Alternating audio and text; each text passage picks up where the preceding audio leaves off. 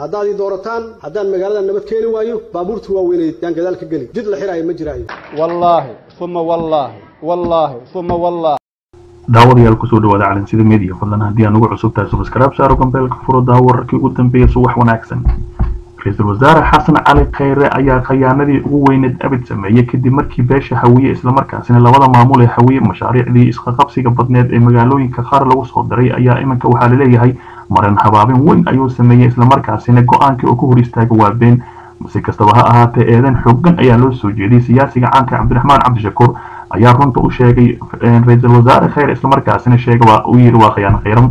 siyaasi cabdiraxmaan cabdishakuur warsame oo hogaamiyey xisbiga wadajir ayaa sheegay in marin habaabin iyo been ay tahay amarkii ka soo baxay ra'iisul wasaare khayre uu sheegay inuu ku joojiyey mashaariicdii bankiga adduunka ee horumarinta muqdisho kismaayo garwey iyo baydhabo si kastaba ahaatee master cc shakuur ayaa sheegay inuu khayaano qaran sameeyey islamarkaasina dadkii uu ku metelay islamarkaasina si weyn u khayaanay oo lacagtii bankiga adduunka bixiyey ka marin habaabiyey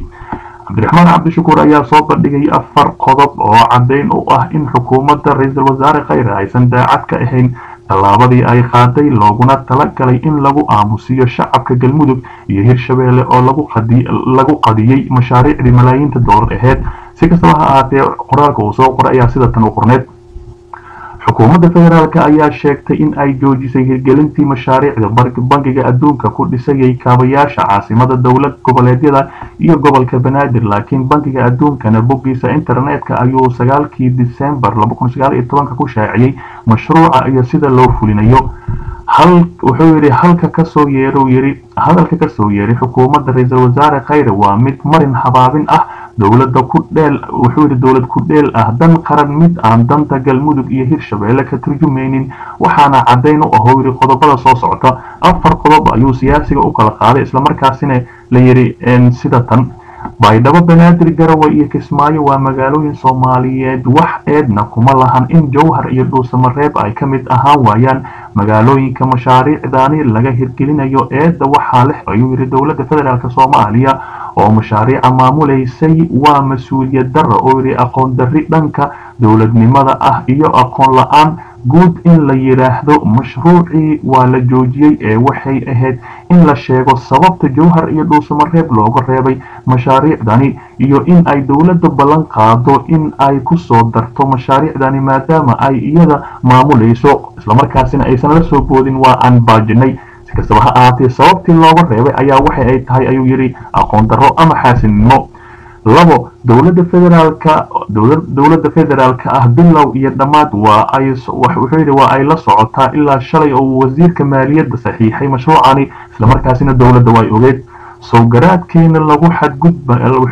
sowgaraadkeena lagu xadgudbi maayo. Maahan ayuu yidhi in la yidhaahdo shalay ayuu ra'iisul wasaaruhu ka baraarugay in ay jowhar iyo dhuusamareeb ka maqan yihiin mise dalka ayuu ka maqnaa mise wuxuu ku biiray naadigii waxba kama ogi ee madaxweyne farmaajo uu hogaaminayay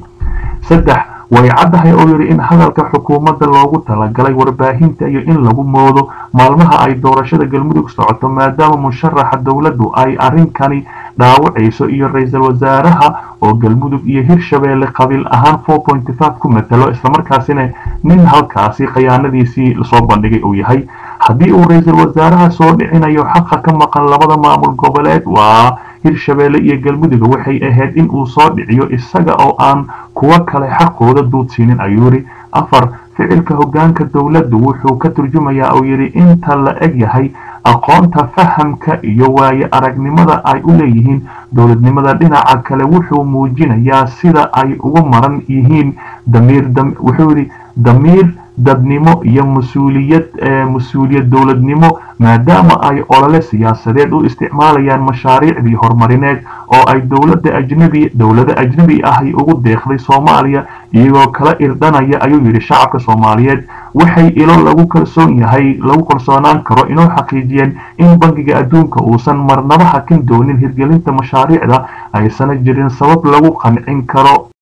oo sidaasi loo yeelo howsha mashaariicdani ay xukuumadda soomaaliya bilow iyo dhammaad la socota wax dareen ahna aysan marnaba ka muujin ayuu yidhi. Si kastaba ahaatee siisi shakuur cabdiraxmaan cabdishakuur ayaa dhulka ku jiiday ra'iisul wasaare kheyre islamarkaasina afartaas qodob ka sheegay si kastaba ha ahaatee waxa uu yidhi foob afar dhibic shan ayuu ku matalaa labadaas maamul islamarkaasina miyuu jiifay mase waxa uu ku maqnaa ama waxa uu ka mid yahay tiimkii ahaa ma ogi oo madaxweyne farmaajo hogaaminayay. Si kastaba ha ahaatee naadigaasi ayuu ka mid yahay ayuu yidhi maadaama wasiiradiisii ay intaasi soo ansixiyeen waa wasiirka qorsheynta jamaal iyo ninka lagu magacaabo wasiirka maaliyadda master bayle si kastaba ha ahaatee cabdiraxmaan cabdishakuur ayaa indhaha u kala furay ra'iisul wasaare kheyre islamarkaasina guuxa iminka siyaasadeed ee ka taagan villa soomaaliya ayaa hawadaasi maraya maadaama arrintani ay aad ugu fashilmatay ay taagan tahay maxaa inoo geeyey halkaan naga daawanaysaa waa calin sida media fadlan nala joog guddiga doorashooyinka sida lagu sheegay galmudug ee uu magacaabay madaxweynaha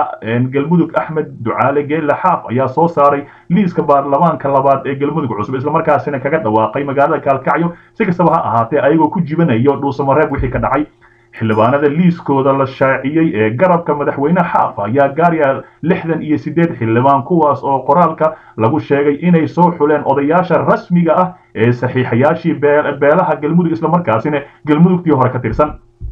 warqadaha lagu shaaciyey liiska xildhibaanada cusub ee garabka madaxweyne xaaf ayaa lagu caddeeyey magacyada xildhibaanada iyo beelaha ay ka soo kala jeedaan. Liiskan cusub ayaa goor dhow looga dhawaaqay magaalada kaalkacyo ee xarunta gobolka mudug oo uu ku sugan yahay madaxweyne. Madaxweynaha waktigii xilixeedkiisii uu dhammaaday waqtigii xiliedkiisii uu dhammaaday ee galmudug axmed geele ducaale xaaf ayaa islamarkaasina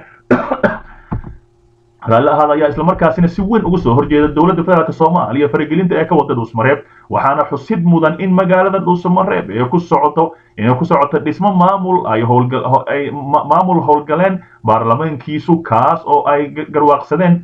ay garwaaqsadeen dowladda federaalk soomaaliya halkaasi ay ka diiwaangeliyaan maamul galmudug ay adeecsan yihiin dowladda dhexe balse xaaf ayaa aad u qaadacay howlaha ka socda dhuusamareeb islamarkaasina sheekadii kismaayo ahayd ka bilaabay magaalada kaalkacyo iyadoona la filayo in halkaasi madaxweyne uu ka soo baxo dhuusamareebna madaxweyne ay ka soo baxaan. Si kastaba ha ahaatee liiska guddiga doorashooyinka maamulka ayaa la soo saaray islamarkaasina la soo bandhigay beelaha ay ka soo kala jeedaan oo aad u tiro badan. Si kastaba ha ahaatee xaaladda ayaa washwash ah oo meel dhexe ayay maraysaa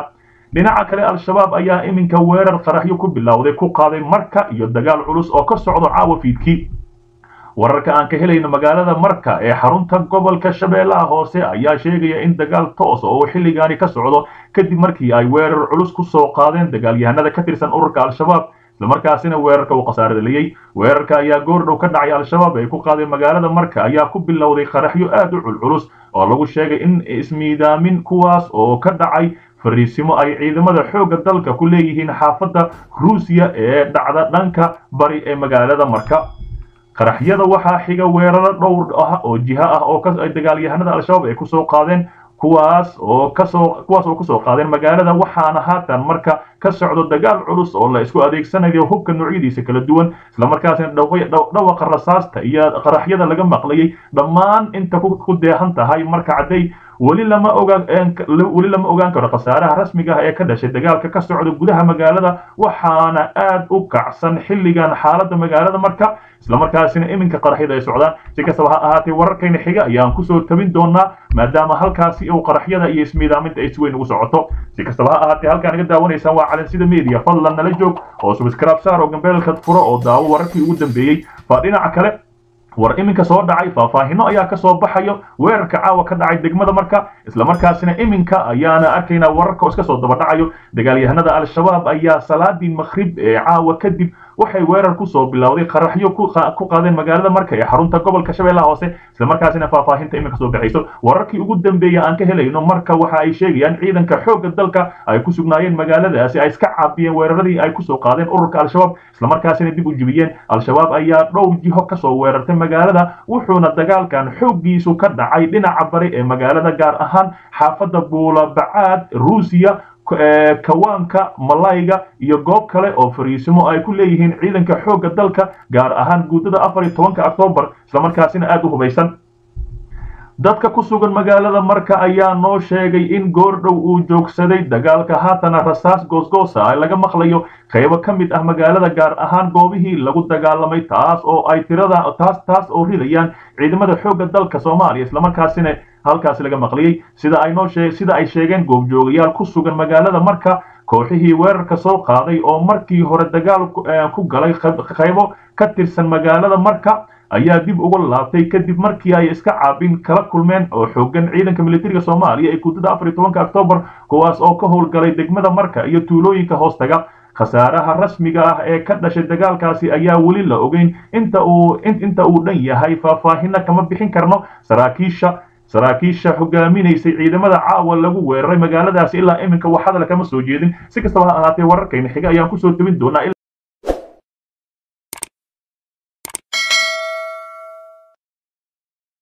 haddaad ii doorataan haddaan magaalada nabad keeni waayo baabuurta waaweyneed yaan gadaal ka geli jid la xiraayo ma jiraayo. Wallaahi uma wallaahi wallaahi uma wallaahi